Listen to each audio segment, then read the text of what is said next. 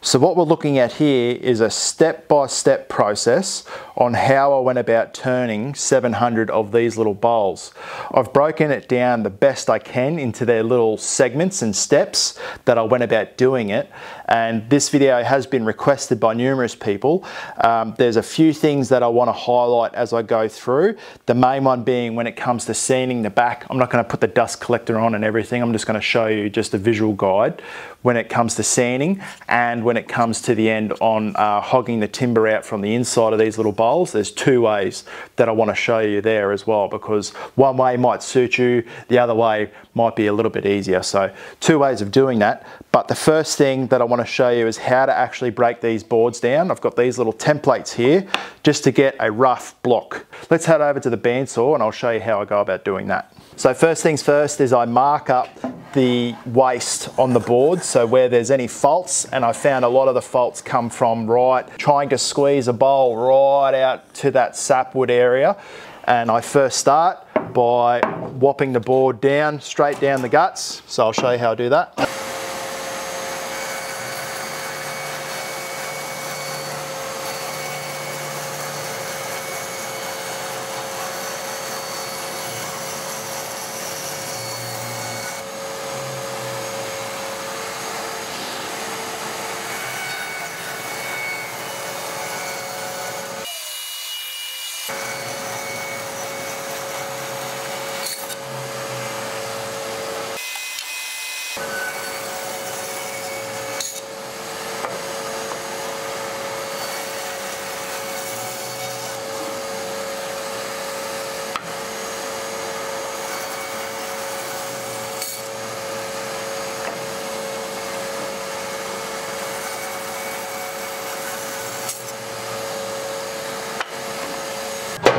So most of the time I just leave them square like that. It's a bit of a waste of time to remove all that corner. I can do that on the lathe within a matter of seconds with a couple of passes with the gouge. Rightio, so we're over at the drill press now, and this is a 50 mil Forstner bit, and I used a little spur, I'll get down to show, so I use this little spur under here to just identify where the center is, where I need to get it smack bang in where I made that little mark with the template earlier on. So one thing that I want to quickly mention before I just drill this hole is now that I'm making a mortise with this Forstner bit to go on the VM90 chuck, the Vicmarc chuck with the dovetail doors, uh, jaws, excuse me, they will expand with inside the mortise. When you are chopping your blanks up, I always, apologies, I always look for faults that the little cracks might be running up and down like this. But when you expand those jaws inside, the dovetail jaws inside the mortise and separate that timber apart, it can become very vulnerable to splitting apart and flying across your workshop. So just, I always be super vigilant and make sure I haven't got any cracks running down into the blank because they can and will, don't ask me how I know, they can and will break apart and send pieces hurling everywhere. So super careful with that. Rightio, so let's go ahead and drill some of these mortises. Just identify where that mark is.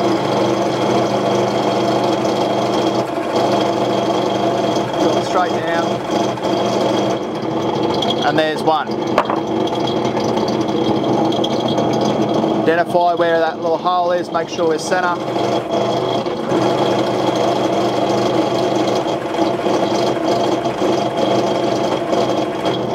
And there's two. And the depth that I've gone down, no doubt someone will want to know, that is uh, 10 mil in depth that I've gone down for that little mortise. So now we're ready to go. Now we're going to move into the next stage, making it round, forming a tenon, and then shaping up the back. So let's do that now.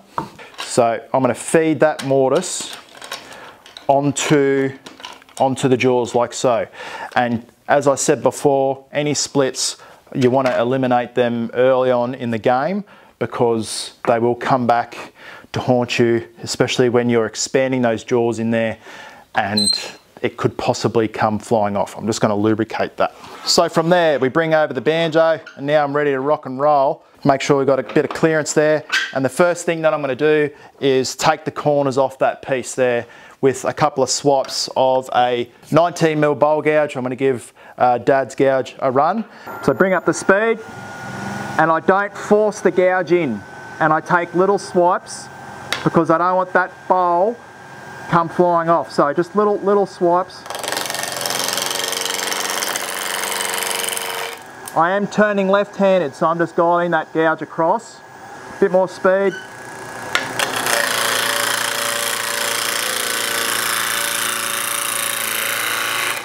I've got the tool down low. I learnt this from Glenn Lucas and my hand's in my pocket and the handle goes there. So that's how I know I've got the tool in the right position and I'm just guiding it across. I'm not forcing it at all.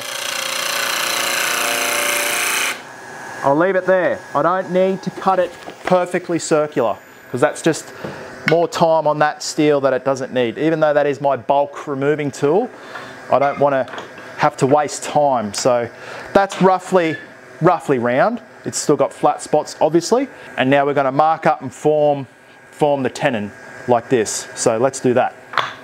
So I've got my dividers here. And one thing a lot of people have uh, asked me how I set the dividers. And you might see uh, Richard Raffan turns a lot of bowls like this. How I go about doing it is you eye up the inside of the chuck and that's closed. Open it up by maybe a half turn and then set your dividers there. And when it comes to sanding, I just want to show you not to be too aggressive on your tenon when it comes to sanding. So you need a really sharp gouge or skew chisel to, to form your tenon. So like I said, closed, half turn open, set your dividers so they're ready to go. And your dividers will create a perfectly centered, accurate sized tenon on the back of your bowl.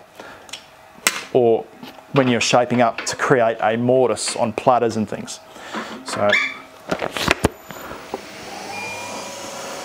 as we all know, left side touches, right side shadows. So I'm just going to make a mark. That's way off. So I need to go back to the left because it's on the inside of the right hand marker. So I'll make one that's going to be on the outside. So I need to go to the right of that side. And now we're bang on there. Apologies, made a few marks now. So that's our mortise there. Sorry, that's our tenon there to form up that tenon and I'll show you how I cut it. So press in.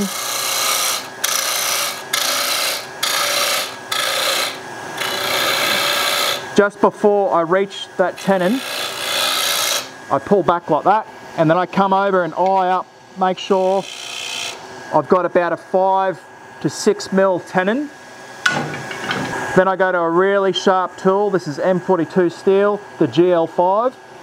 And then I hold the tool in my side, overgrasp grip, find my line, and then drive the tool. I drive the tool straight in.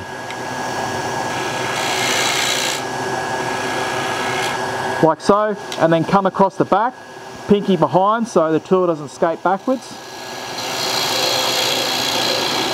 And as I'm driving, I'm driving in on the angle ever so slightly to create that dome.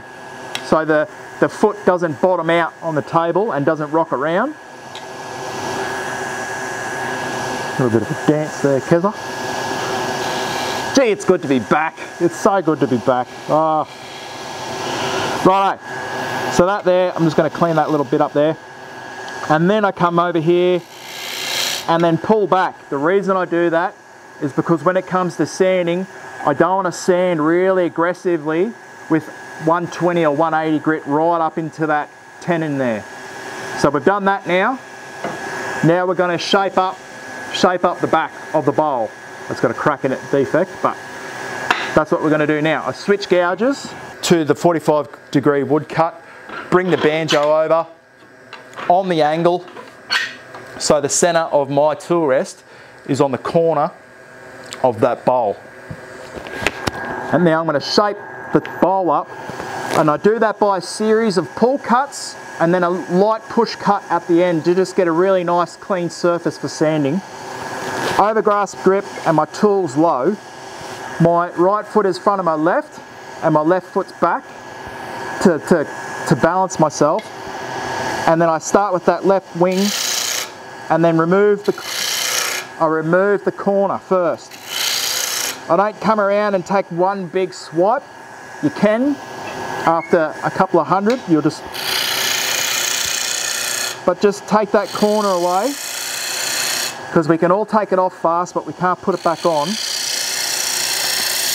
And then I drive it up. I drive that tool up like that. And that keeps, and then you just come around, keep refining that, refining it around that bowl size. Turn the tool over and then do like a light little shear cut around.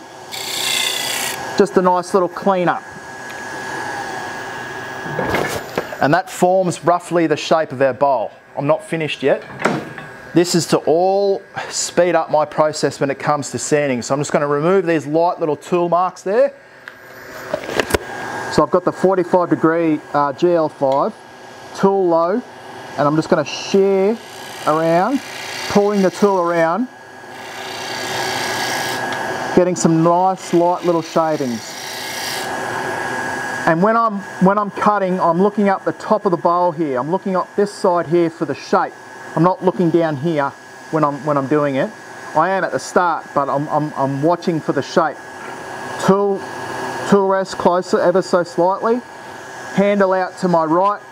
The flute is nearly facing me. I, I come in and open the flute. Swinging that tool handle around to my right hip.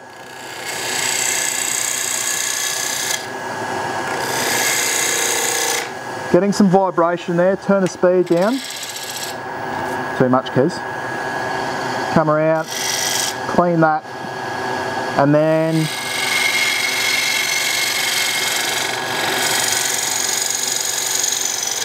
make a little push cut up to the top, a little bit of housekeeping, and then now I'm ready for sanding.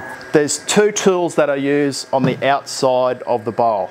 So first up, I keep all my sandpaper in a compartment like this and I wad punch the sandpaper out with the Glenn Lucas wad punches. A lot easier than using steel rings and hitting it with a hammer. Trust me. So wad punch the sandpaper out into three inch and uh, two inch discs like this. And I've got 120, 180, and then 240. This might be making you suck eggs a little bit, but never move more than 50% of your previous grit. And you wanna move in that order so you can remove the previous sand marks of that previous grit.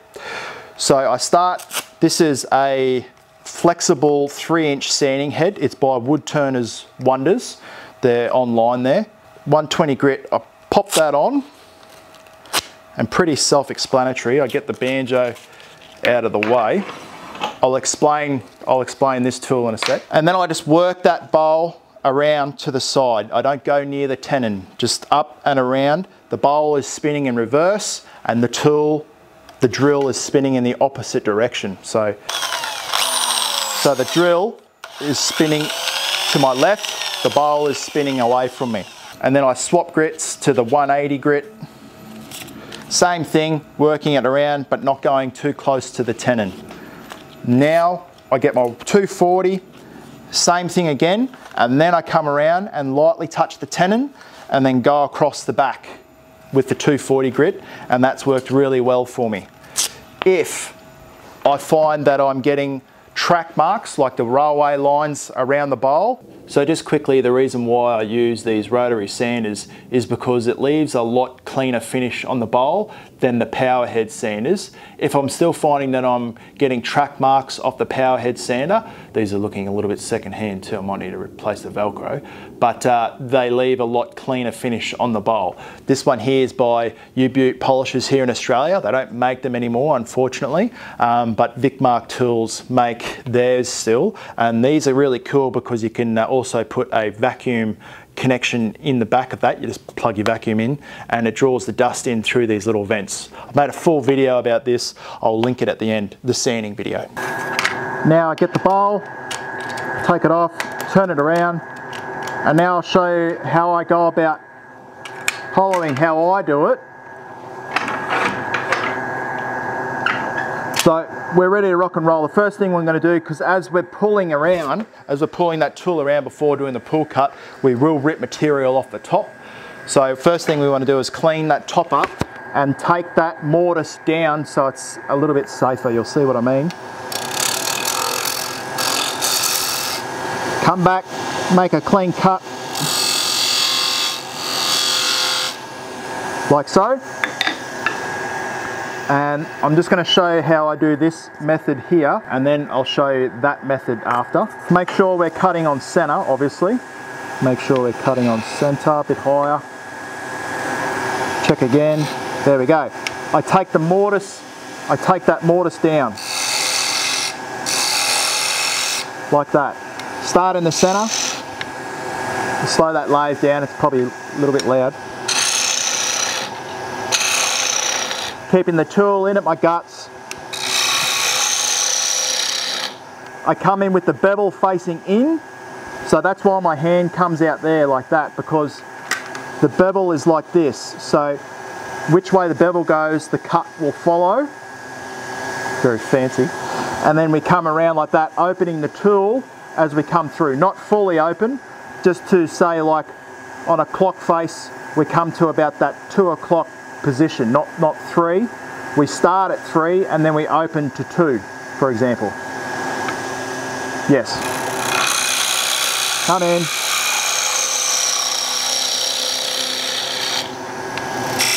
That was annoying me. Now you might find this method doesn't work for you, but what I do, I go to the bottom, I find my depth, might be a little bit counterintuitive. Just make sure your gouge is sharp as well.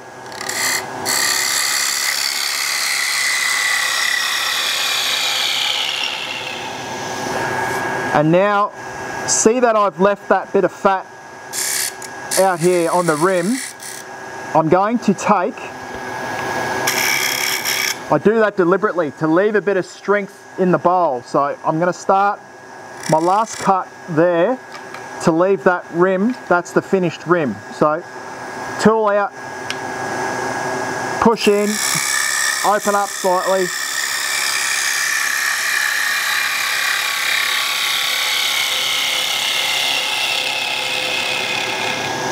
And then follow it down the bottom, a little bit more cleaner job on the bottom there. And that's the first way I go about doing it.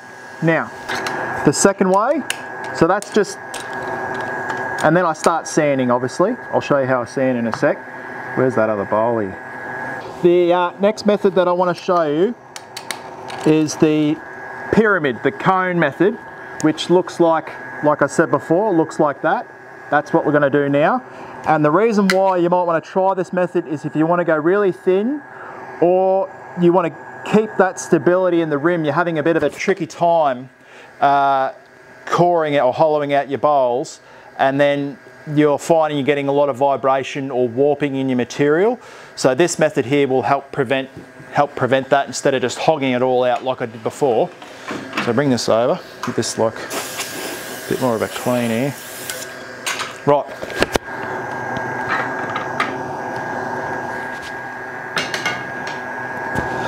back to the little half inch.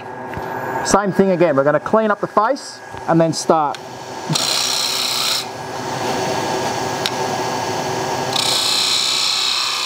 Hopefully that camera angle, hopefully that camera angle is a little bit better now, you can see a bit more clearly. Same thing again, where the bevel goes, the cut will follow, so hand out right. Take that mortise down. What happened then is I just the tool touched the timber and it just skated away from me. So, and now I'm just going to start, I remove a little bit, but then I keep that material in the center. So I keep that there. Can you see? I'm keeping it in the middle there.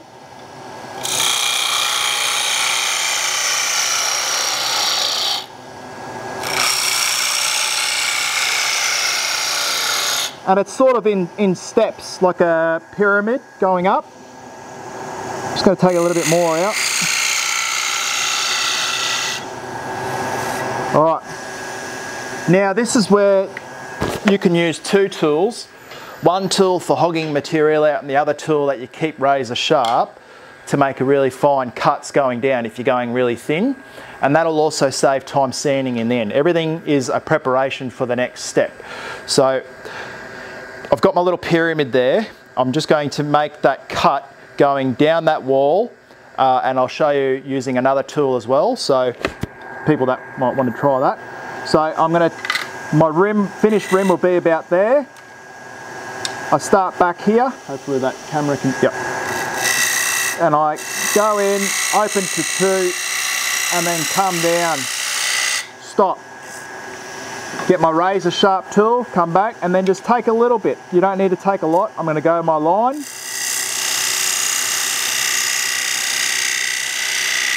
And then go to the next rill. Be careful when you go to the next rill, you might get a little catch on the wing of your tool. So just a word of caution. It's always nice to have extra tools as well. Now I'll just hog that out.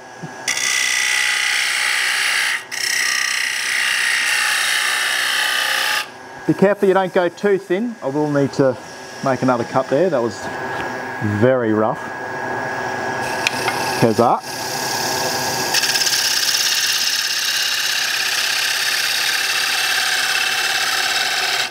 Nice little cut there. Now we'll start removing that uh, pyramid. Pyramid from the middle. More speed. So many ways of doing things.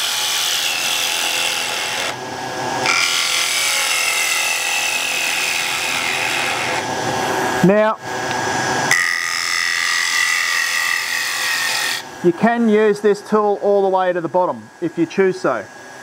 You can then also pick up a bottom bowl gouge, a 60 degree bottom bowl gouge.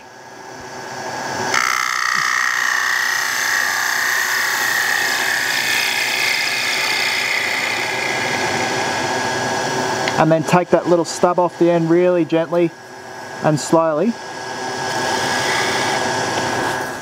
Now, now we're happy with that. And like I said before, I punch out two inch little discs. I start with the 120 grit. I don't go near the rim with the 120 grit. Turn that mask off, my apologies. I start here, lathes running in reverse, turning it right down. Lathes running in reverse, the drill is running in the opposite direction. I then work the power head sander, I come around and then lightly go to the middle and then come back. I don't spend too much time in the middle because you will just bury that sanding head down into it. I then take that off or just flick it off if you've only got one and then put the next one, put the next one on.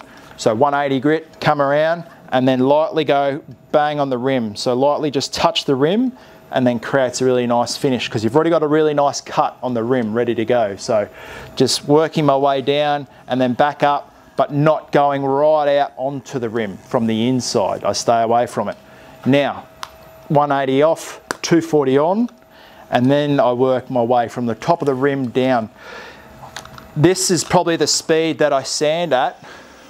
I can't give you an accurate measurement of it because my tacho is uh, it's not working. So I don't have the lathe spinning its head off because then you will get a lot of warping with the rim of your your bowl due to the uh, inside being, being removed and it will just warp around. One way that I have alleviated the warping when I am sanding, just got 240 grit on there.